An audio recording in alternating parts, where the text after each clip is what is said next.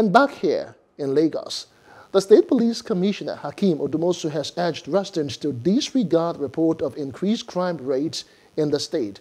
Now, CP Odumosu said this while briefing newsmen in Lagos. Plus TV correspondent Ngozika Ohaechesi has more. There have been general reports of an increased crime wave in Lagos, and this has gotten the attention of residents.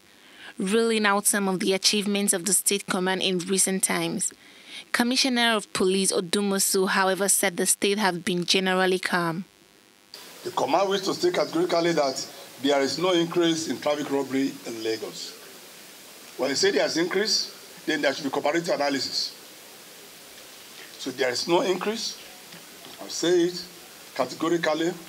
So number of traffic robbers arrested within that period, 42. And that was what made it to go down drastically. So number of armed robbers arrested within this short period, 93. And number of armed robbers that encounter with the police, just four.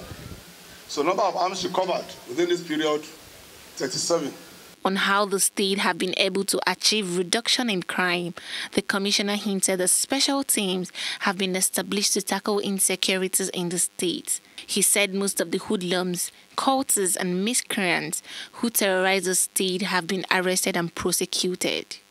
Special teams have been established to basically and frontally tackle incidences of traffic robbery in the state. Meanwhile, the police command also paraded suspects who were involved in various crimes, promising that they will soon be charged to court. Mm. The budget how much? 60,000, Each of them? The two, 30,000 naira. Uh, the budget now to go and kill antelope. To kill who? Talking now. Your, to kill your private cultist. You impersonated as what? Said Elegushi. As Said? Elegushi. You impersonated Said Elegushi. What did you do when you impersonated him? I used online, online, online. Use online what? Online, sir. Use online Facebook. All his pictures. You are sending his pictures to the victim in London. They want to marry her. You are Said, you are of Lagos. You have, huh? So his photograph you are sending to that lady, and lady was now accepting that you are the cabbage. Huh?